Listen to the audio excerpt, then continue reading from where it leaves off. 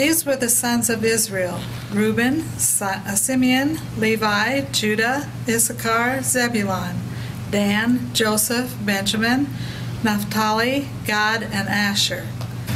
The sons of Perez were Hezron and Hamul.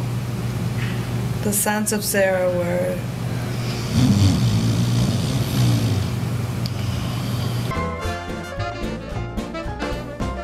A lot of people in the church are in the same terrible condition that I was in. Uh, they, there are still things in their lives that defeat them depression,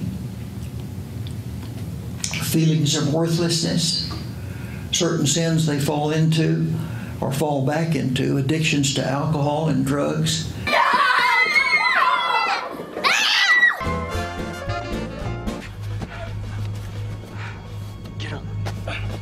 Get off my lawn.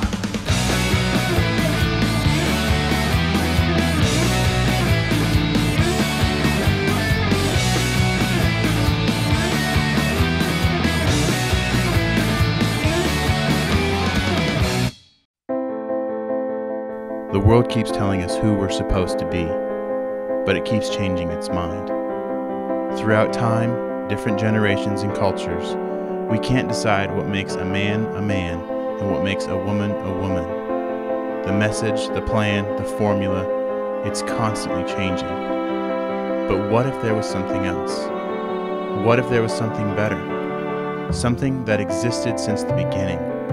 Something untouched by time, unwavering in purpose, and unchanging in culture. Something true and perfect. A beautiful design.